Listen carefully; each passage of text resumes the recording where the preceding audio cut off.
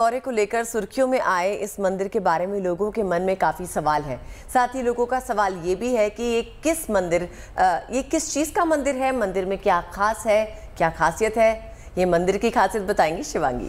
बिल्कुल, आदित्य, और सबसे बड़ी खासियत तो ये है कि इस मंदिर में एक साथ बीस हज़ार लोग मेडिटेट कर सकते हैं।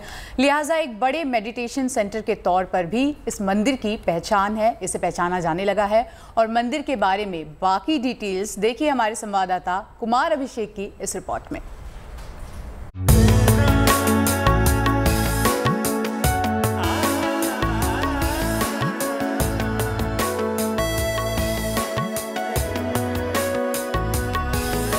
ये मंदिर भी वाराणसी में बना है और आध्यात्म की एक जो धारा है, उसका प्रतिनिधित्व ये स्वदेव, स्वर्वेद मंदिर करता है और आपको हम इसका स्थापत्य दिखाने की कोशिश करते हैं। ये मंदिर अपने आप में अनूठा है, बिल्कुल कमल के आकार का, फूल के आकार का, दूर से ही ये मंदिर दिखाई देता है। ये मंदिर 2004 में इसका शिलान्यास हुआ था और अब ये बनकर लगभग तैयार है। हमारे अनंत से सदगुरु सदाफल देव जी महाराज ने सत्रह वर्ष कठोर तपस्या की और इस ब्रह्म विद्या के ज्ञान को इस धरातल पर उतारा। उन्होंने जो अनुभव किया, उसको स्वरवेद में अंकित किया। स्व का अर्थ है आत्मा, स्व का अर्थ है परमात्मा। आत्मा से लेकर परमात्मा जब तक की जो भी यात्रा, जो भी साधक करता है, उसको क्या अनुभव होता है, वो स्वरवेद के तीन हज़ार छः सौ सैंतीस दोहे में अंकित किया गया है। उस दोहे को संगे मरमर पर लिखकर यहाँ पर लगाया गया है। इसलिए इस धरातल का नाम है सर्वेद महामंदिर। पूरा मंदिर मतलब ये तो मेडिटेशन सेंटर है पूरा।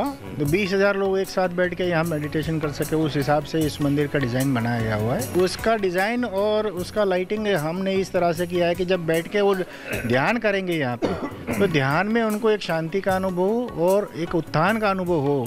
इस तरह से पूरे मंदिर को हमने डिज़ाइन किया हुआ है। और ये मंदिर में खास करके हमने ट्राई ये किया है कि हमारी जो पुरातन कला है उसी को लेके हमने इस पूरे मंदिर में डिज़ाइन किया। और मूलभूत रूप से ये आरसीसी स्ट्रक्चर है।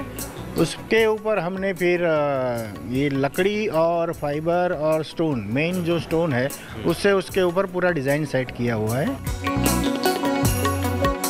आध्यात्म की एक अलग धारा है। और गुरु में, ब्रह्म में लीन होने की इस धारा को एक सजीव मूर्त रूप देने की एक कोशिश है।